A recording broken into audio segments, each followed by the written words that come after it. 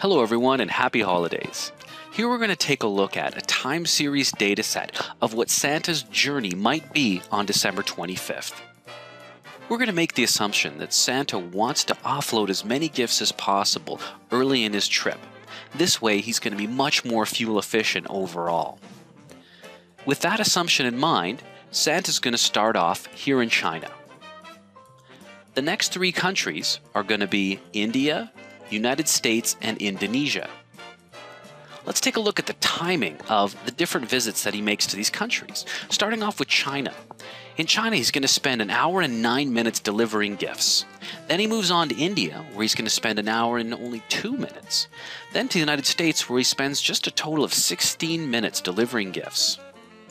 As we move forward in time, you're going to see that Santa's going to have to start jumping back and forth around the globe faster and faster as the countries become more spaced apart.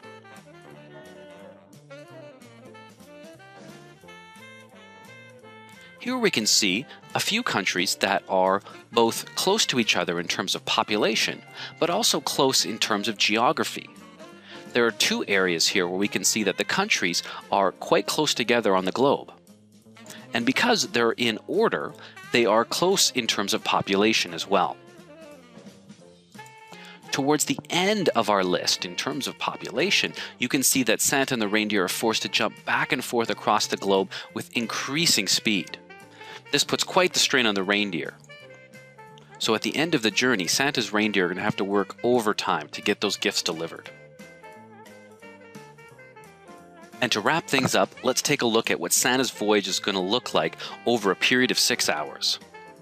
Here we can see him jumping back and forth as he starts moving with increasing speed to get around the globe. That's quite a complicated journey. Good luck, Santa Claus. We'll see you next year.